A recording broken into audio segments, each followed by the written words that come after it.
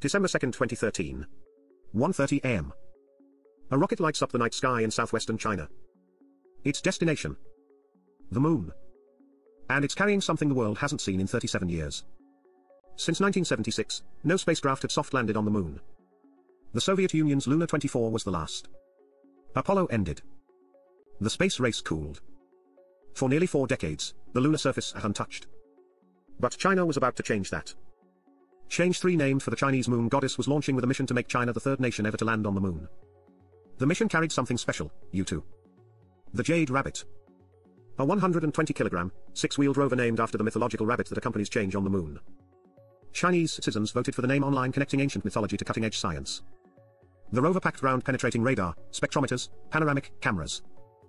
Its mission? Explore areas no human or machine had visited. Study the moon's geology. Search for resources. On December 14, 2013, Chang'e 3 touched down in Mare Imbrium the Sea of Rains. Seven hours later, Yutu rolled down the ramp onto the lunar surface. The first rover on the moon since 1973. NASA's Lunar Reconnaissance Orbiter photographed the landing site from orbit American technology capturing China's achievement. International cooperation without formal partnership. Yutu's ground-penetrating radar immediately started making discoveries. Nine distinct rock layers beneath the surface far more complex geology than anyone expected. In 2015, the mission discovered a completely new type of basaltic rock, rich in ilmenite a black mineral never identified on the moon before. Yutu was designed to last three months. It operated for 31 months 10 times longer setting the record for longest rover operation on the moon. Even after mechanical problems left it unable to move, it kept transmitting data. Chang'e 3 proved China could land, rove, and conduct advanced science on another world. It opened the door for Chang'e 4's historic Farside landing in 2019.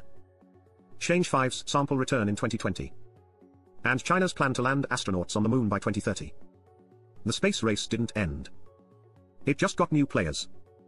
One launch. One rover named Jade Rabbit. The day China joined the most exclusive club in space exploration. That's December 2, 2013. December 2, 2013. 1.30 am. Subscribe for more space exploration breakthroughs that made history.